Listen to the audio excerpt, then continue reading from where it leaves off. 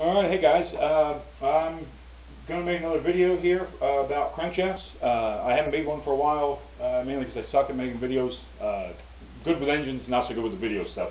Uh, but I want to talk a bit about big end bearing wear today, and basically how to know where the crankshaft is in terms of wear and wear limit.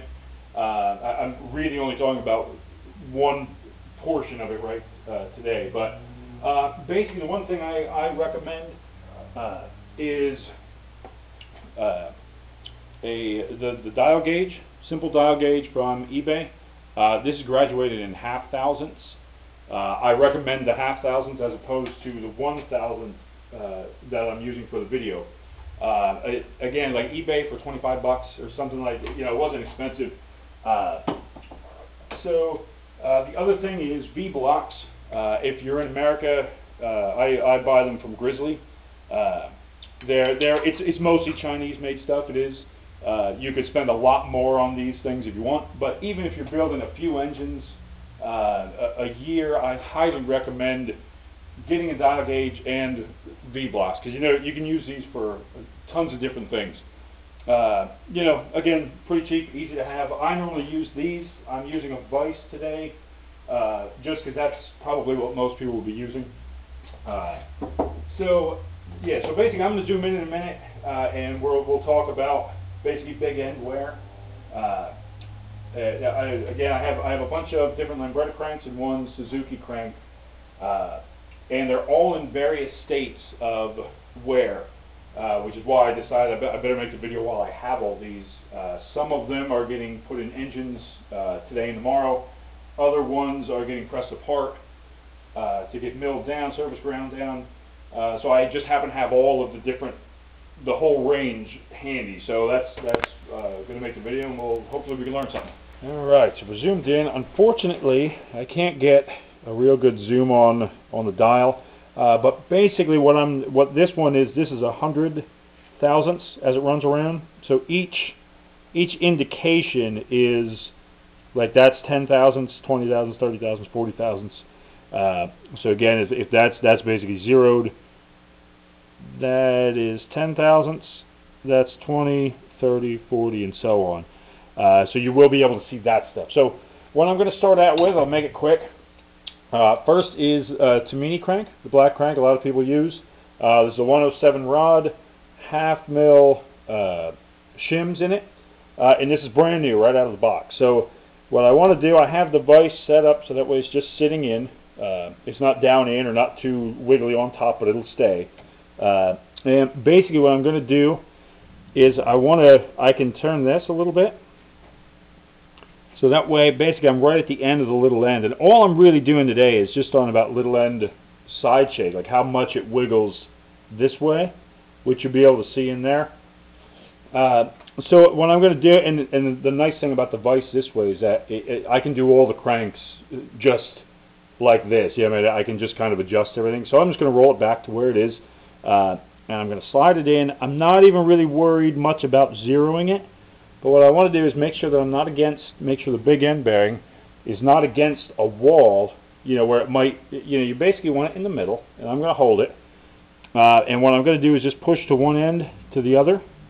Now, the other thing, now that's as far as I'm going to go, but I could flex it.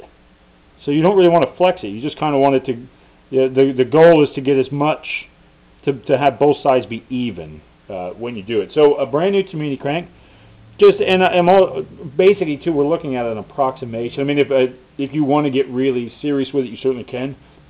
I'm just doing an approximate today. So what, what we're basically doing, that's actually at 50, that's at about 40. So when I'm doing 50, I'm a little over 20 thousandths right out of the box. A little over 20. Uh, I think I was getting about 25 of that earlier. So I'm about 23, maybe 24, depending, you know. Uh, and it will wiggle too. Like as I slide it over, you know, sometimes it will go. It, it, the the gauge itself will slide just because the the rod itself is moving, you know, that way.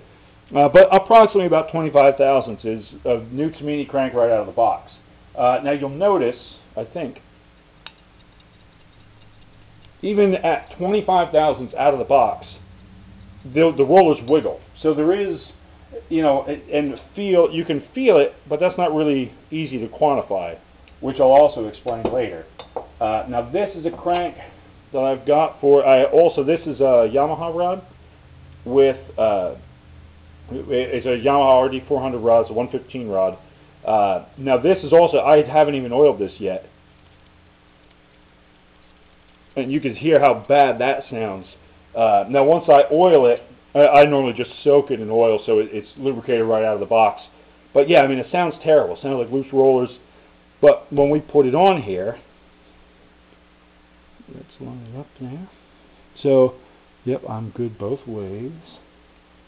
So we're looking at about, again, about 20, not even, because that's a little over, and that's a little over, just about 20 thousandths, maybe a little over between 20 and 25. And again, it's hard to see because it's, yeah, I'm also trying to do it with a video, so that's kind of a pain to do. But yeah, it's right around 20 thousandths, a little over, uh, depending on it as it wiggles that way. So, well, that's about, it's almost 25 there. So, 25,000 is pretty good.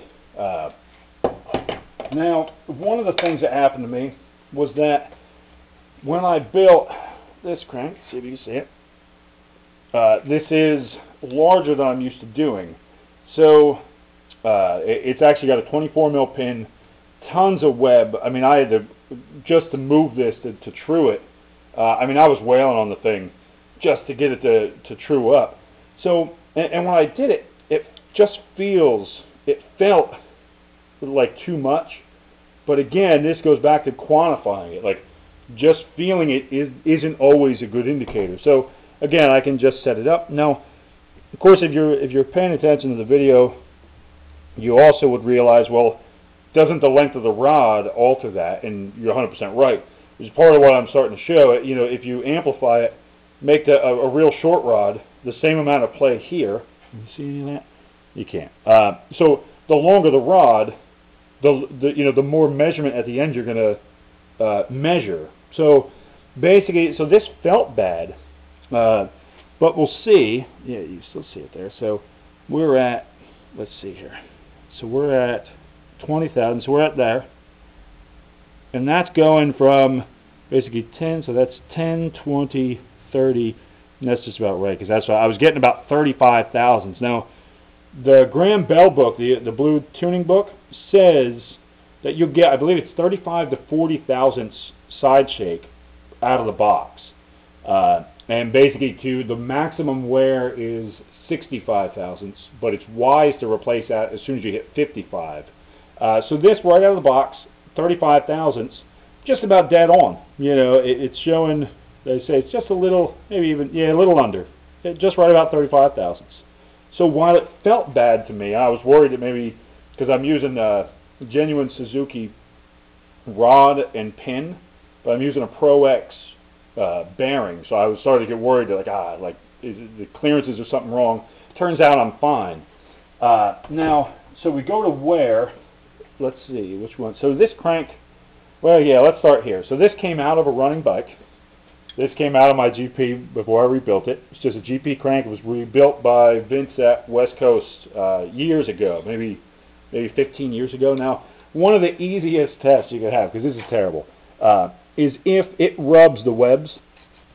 I mean, you know, if if you can if you can clank between the webs, that is absolutely terrible. Um, the other thing by twisting, I mean, it twists. You know, I'm talking this way, not you know, not even side shake. I mean, that's terrible. That that that the whole thing is twisting. It's a mess. Uh, it was running, but it would not have run for a whole lot longer that way. So again, let's let's pop it in there and see how it goes. Go this way. So now this, let's just measure. So now that's about zeroed. It's, yeah, just about zero.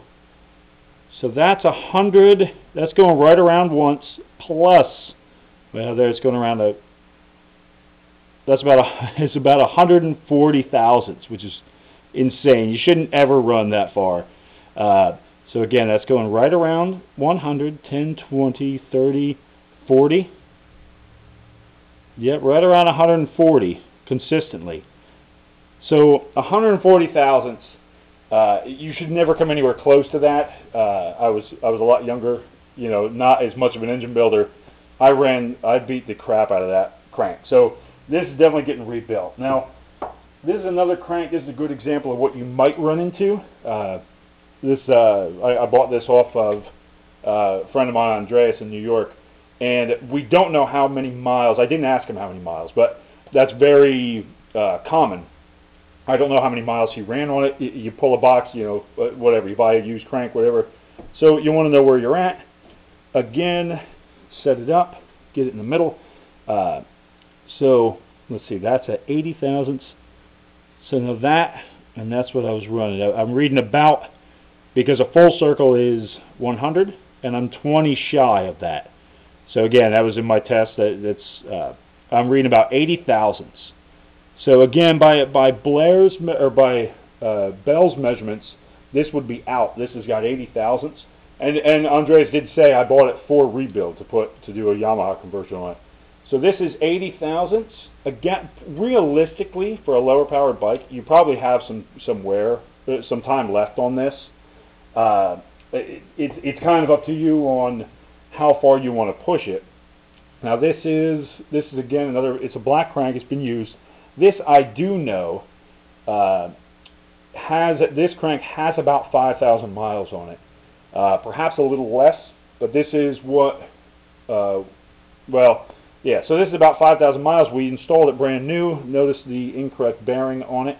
Uh, I've heard it said that you can run it that way. This does have 5,000 miles, but it's still incorrect because the only half the bearing runs on it. I mean, it's not correct.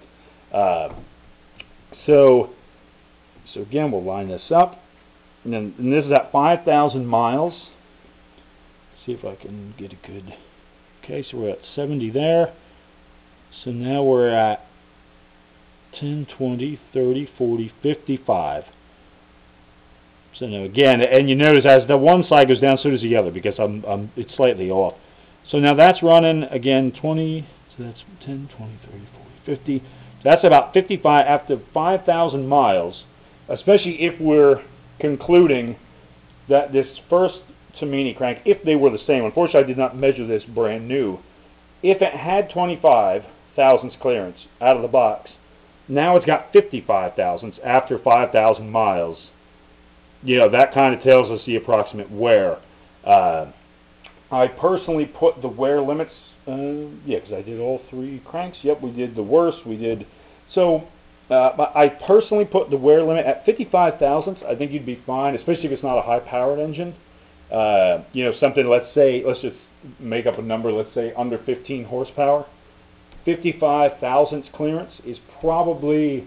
I'd say you could probably safely run this for two to three thousand miles, maybe upwards to 5,000. Uh, now the other thing, oh, the other thing I wanted to mention is you could, in theory, I, I'm doing this on a Vice.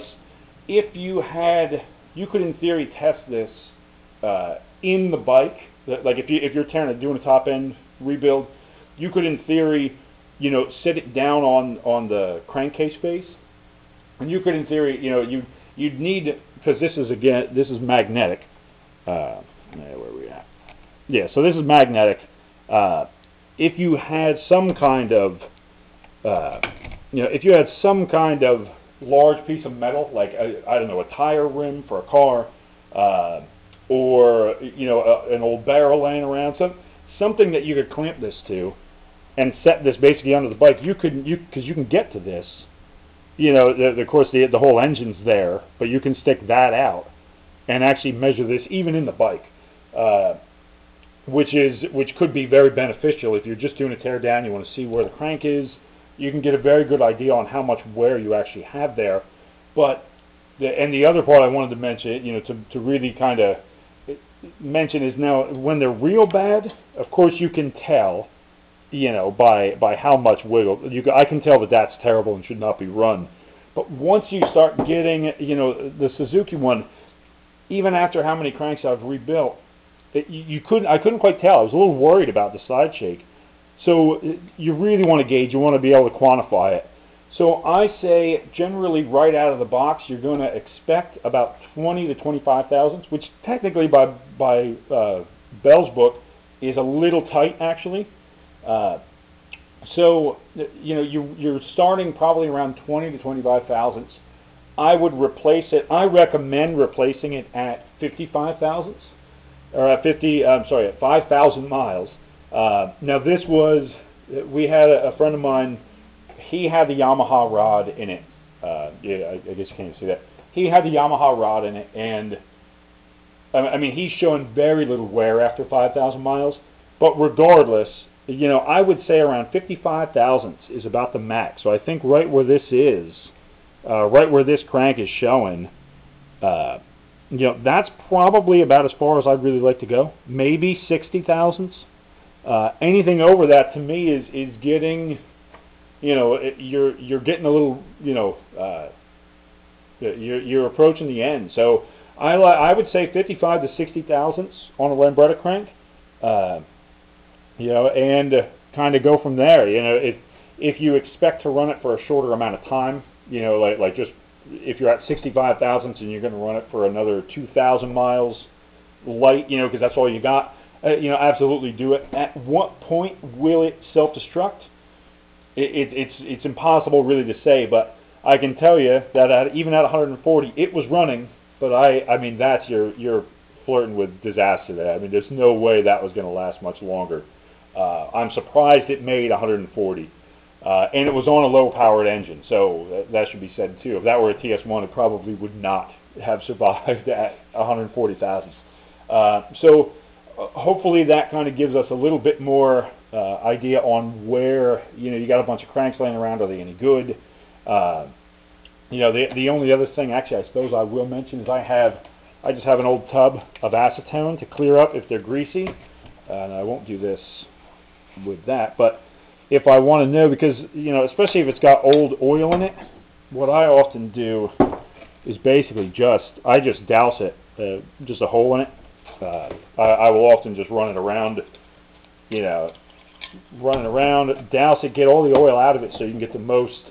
Because sometimes it'll, uh, in fact, even then, that doesn't even sound that bad. But it, it says it's funny again the new one sounds worse than, than the old one. So uh, clean it out and, and get a proper measurement on it to see where you're at.